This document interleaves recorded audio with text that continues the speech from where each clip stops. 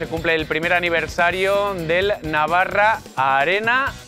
La gran mayoría, es que estamos hablando de mínimo un tercio de los navarros, ha acudido a estas instalaciones a lo largo de los últimos 365 días para hacer un poquito de balance y ver también los retos que tienen por delante. Después de este primer año de vida contamos con el gerente de NICDO, con Javier Lacunza. Javier, muy buenas noches. ¿Qué tal? Buenas noches.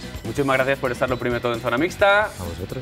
¿Cómo está el bebé de salud? A priori, con los datos en este primer año, una salud excepcional, ¿no? Más de 200.000 personas que han pasado por las instalaciones en este, en este año. Sí, yo creo que hay, ha habido una respuesta de público que seguramente ha estado por encima incluso de las expectativas más optimistas que podíamos tener. ¿no?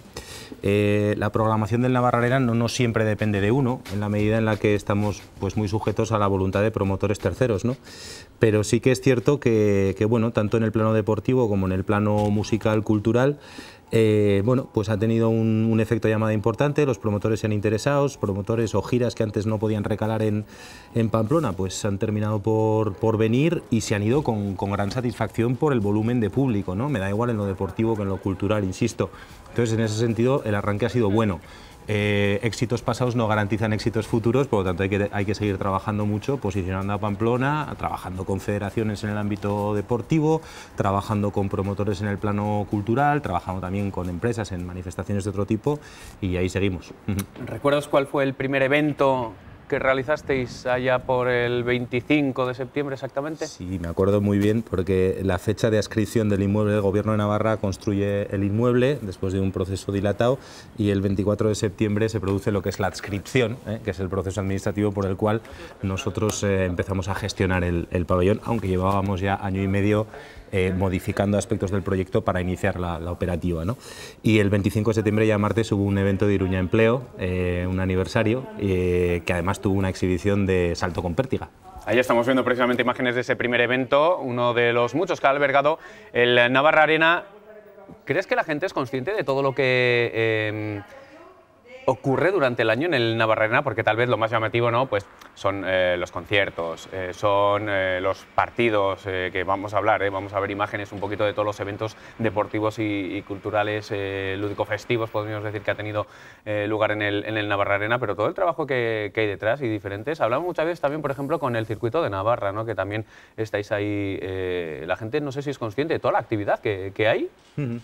En el mismo. Bueno, posiblemente la gente tampoco tenga por qué serlo, porque eh, bueno, lo, los eventos grandes que al final bueno, pues recaban miles de asistentes, pues ahí seguramente sí es necesario, ¿no? Pero luego también hay muchos, muchos eventos de, de pequeño formato que, que, son, que son restringidos y por lo tanto, pues más allá de eh, aniversarios como este o de balances de fin de año, eh, bueno, pues se, se cuentan y se, y se, explican, ¿no? Pero, pero bueno, pues no es tan relevante seguramente para la opinión pública.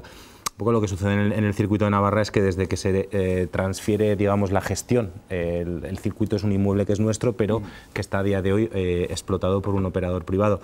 El operador privado se centra mucho en eventos eh, restringidos, que son los que le generan la, necesaria rentabilidad y seguramente la parte de eventos deportivos más grandes, que son eventos mmm, donde es necesaria una contribución económica, pues se ha reducido lógicamente porque un operador privado opera en otro tipo de, de circunstancias. ¿no?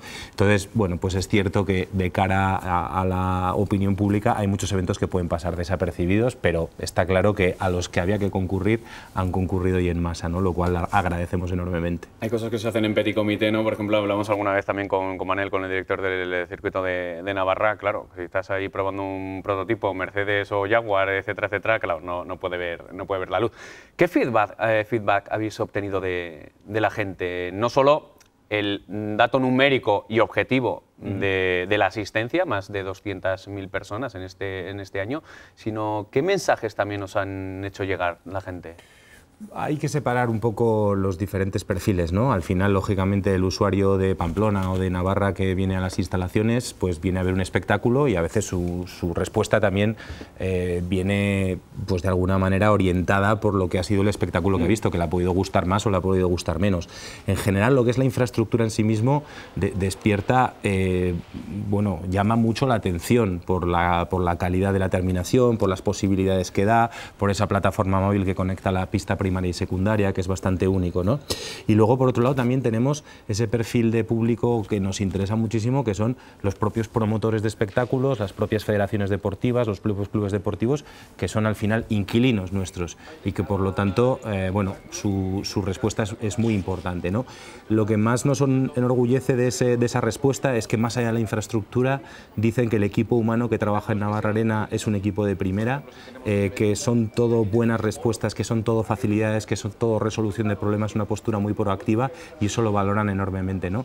Y lógicamente, pues como responsable de todos ellos y ellas, pues, pues me siento muy, muy orgulloso de haber palpado esa respuesta por parte de los profesionales del sector que por motivos deportivos, culturales o, el que sea, eh, se acercan a, Pamplona y al Navarra Arena en concreto. ¿Cuántas personas están trabajando a en el Navarra Arena? Y también en eventos, ya sé que tal vez a través de terceros, pero la importancia de esta instalación como generadora de empleo aquí. Claro, realmente a nivel de, puestos fijos, indefinidos, eso está publicado en nuestra página web por cuestiones de transparencia, son el personal eh, de la, la, son cuatro personas, ¿vale? Que se incorporan con algún perfil eh, eventual más y, después tenemos, claro, eh, en un momento de evento, seguridad, acomodación, personal de escenarios, de montaje, iluminación, un montón de gremios que participan.